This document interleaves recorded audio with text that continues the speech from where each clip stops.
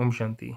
दो अप्रैल के श्रोतान में का स्वागत है। परमात्मा कहते हैं आज के वरदान में कि इस अलौकिक जीवन में संबंध की शक्ति से अविनाशी स्नेह और सहयोग प्राप्त करने वाली श्रेष्ठ आत्मा भवा। इस अलौकिक जीवन में जो हम ब्रह्म कुमारी में जीवन जीते हैं, जो दुनियावी जीवन से भिन्न होता है, सोच अलग होती है, बोल अलग होते हैं, कर्म अलग होते हैं, इस अलौकिक जीवन में संबंध की शक्ति आप बच्चों को डबल रूप में प्राप्त है।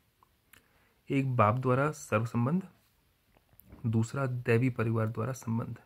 इस संबंध से सदा निस्वार्थ स्नेह।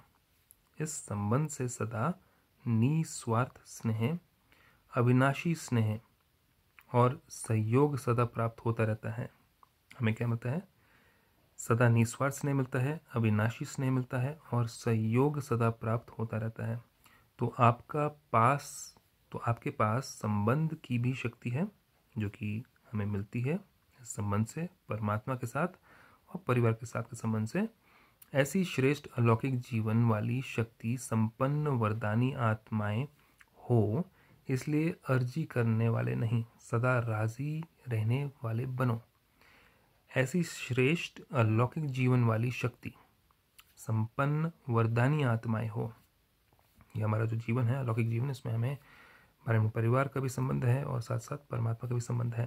तो इसलिए ऐसे ही श्रेष्ठ अलौकिक जीवन वाली शक्ति संपन्न वरदानी आत्माएँ हो, इसलिए अर्जी करने वाले नहीं, सदा राज़ी रहने वाले बनो। परमात्मा से अर्जी नहीं करनी है, जो संबंध है, जो हमारे परमात्मा के साथ संबंध है, हमारे अलौकिक संबंध है, उनके द्वारा ही हमें सब प्राप्तियाँ हो जाती हैं।